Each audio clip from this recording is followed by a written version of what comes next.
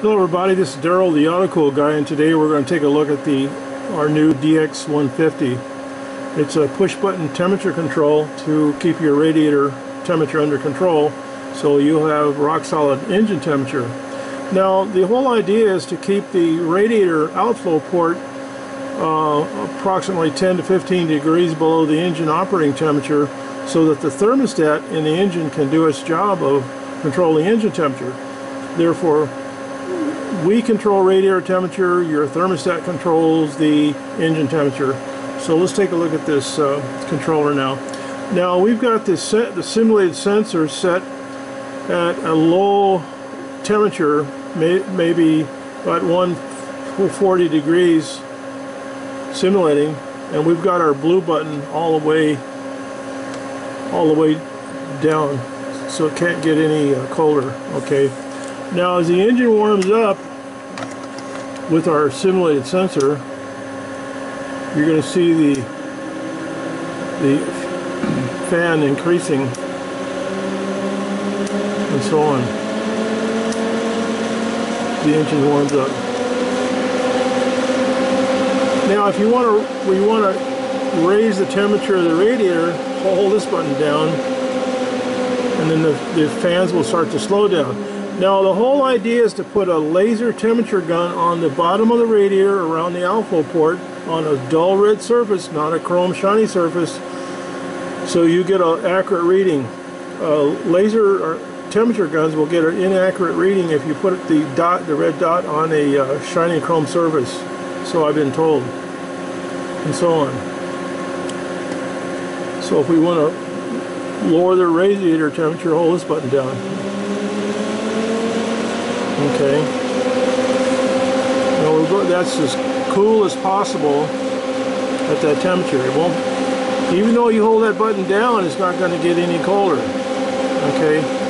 Now let's let's run the um, the failsafe. We'll see what happens.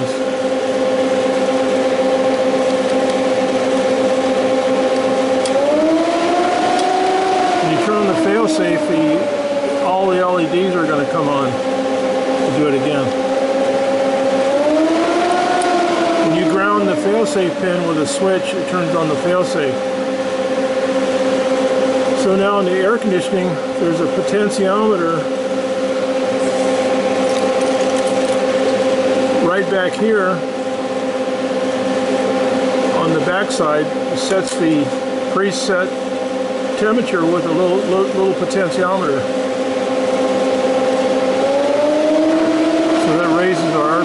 Where you want it. So turn on the AC pin, pin 6, and then preset the RPM the fan where you want it. Now we'll shut off the ignition. Whereas to show you, the, it has the cool down timer.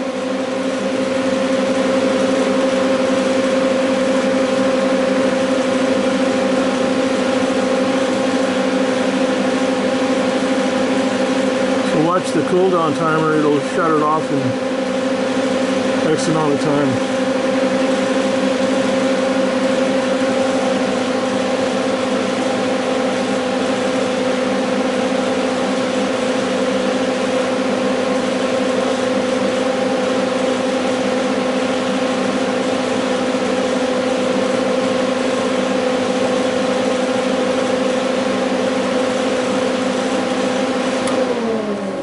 Well, there you have it, the AutoCool DX150. It's rated 150 amps, and it has the quarter-inch brass studs for the ground and the fan. 7-pin terminal. Now, on the black terminal, the 7-pin terminal, you use about, about number 20 gauge wire will be fine. You don't need to go overkill on that wire. It doesn't draw hardly any current, very little current.